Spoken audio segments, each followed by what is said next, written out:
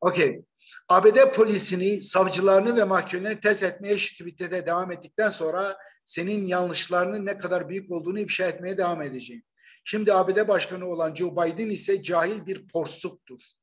Hatta kabızdır diyeyim. Benden bu kadar. Senin reis hakarette uzmandır. Bak 10. tweetime. Dünyada lidere hakaret cezasından dolayı en çok ceza veren ülkeler hırsız diktatörlerin, krallık ve sultanların yönettiği ülkelerdir.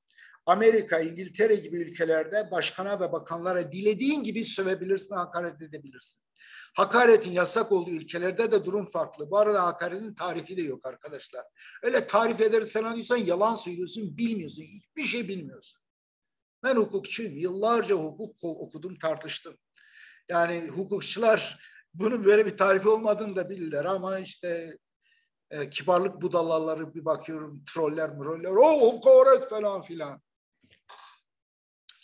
Evet ben hakaret etmiyorum bu arada. Ben hep doğruyu söylüyorum. Yani hırsızsa hırsız diyorum. Hırsıza hırsız demek hakaret mi? Yalan söylüyor. Açık bir yalan. Ap açık bir yalan. Dün söylediğini tam tersini söylüyor. E yalancı diyorum. De bir kere değil. Hani bir kere söylese Edip yalan söyledi. Bir kereliğine yalancı olmaz. Yalancı olabilmesi için çok yalanlar söylemesi lazım. Yüzlerce yalanı var. Yalancı diyor. Hırsız diyorum. Hırsız. Neyse. Ee, bu bir e, indeks şey yapmıştı. E, diktatörlerin bir listesini yapmıştı. E, 2021'in diktatörünü seçtiriyordu. Indeks. E, Tayyip e, seçildi. O en çok oyu o aldı. E, krala ve ailesine hakaret hapis cezası ile cezalandırıldığı ülkelerde kral ve ailesine hakaretin hapis cezası ile cezalandırıldığı ülkelerden biri olan Belçika'ya bakalım.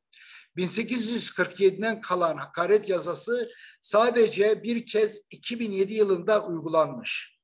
Doğrusu o davada hakaret değil, krala zina iftira ettiği için adam cezalandırılmış. Bir tek o da hakaret değil, o da iftira. İftira ile hakaret arasında fark var.